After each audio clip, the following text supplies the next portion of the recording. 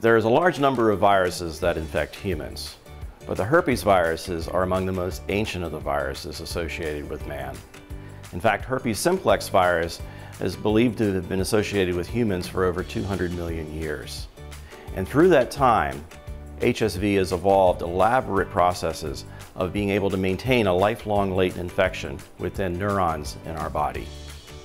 My lab is interested in trying to figure out how the virus maintains this latent state and if there's ways that we can suppress reactivation or eliminate the viral DNA completely.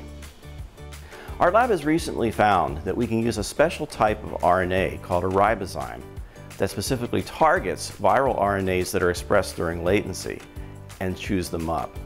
And in recent preclinical studies, we've been able to demonstrate that by using a gene therapy approach to deliver these ribozymes to the neurons where HSV is latent, that we can block reactivation in 50% of the subjects. The research environment at UF has really made this exciting research possible with the Powell Gene Therapy Center and collaborators like Al Lewin, an expert on ribozymes, and Dr. Sonal Tuli, an expert on herpes diseases of the eye, this has really been a team effort.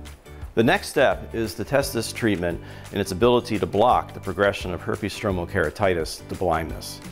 I'm David Bloom, and I'm part of the research landscape at the University of Florida.